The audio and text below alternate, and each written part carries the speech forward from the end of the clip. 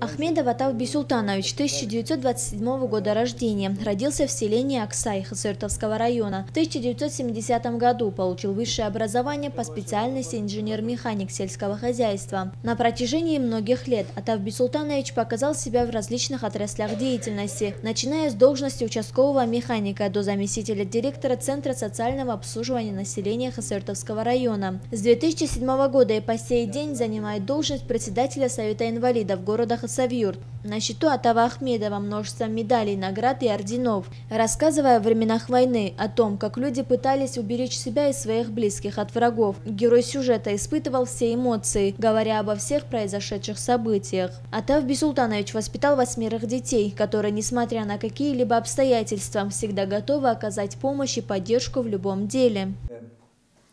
Тогда полтора смена все для фронта, все для фронта. Даже близко была тракторная бригада, село не пустили домой.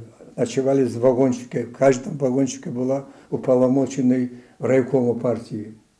Ночью задний корпус на глубине 40 сантиметров я сделал, его зажигал, грел, чтобы лежать на этом борозде. Немножко отдохнул, Потом завели трактор, работали.